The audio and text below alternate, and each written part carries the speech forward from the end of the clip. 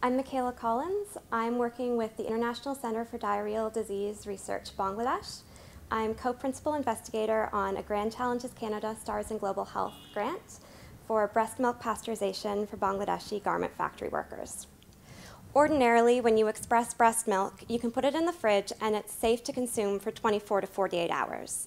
Unfortunately, most garment factory workers are living in slum communities. And they don't have access to refrigeration. Pasteurization can be a novel way to extend the shelf life of breast milk without refrigeration. That's why we opted to build a high temperature, short time pasteurization device that uses very little water and couple it with the infant and young child feeding counseling that ICDDRB has developed. We have a factory that's agreed to host the clinic. We have the clinic site completely set up. We've begun our formative research with some of the women who will be using the pasteurization device.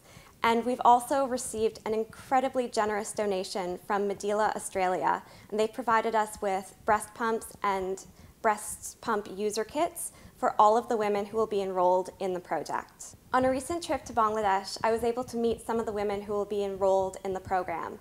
And they were really, really excited. They know how important breast milk is for their infants, but they don't have a choice. They have to make a living.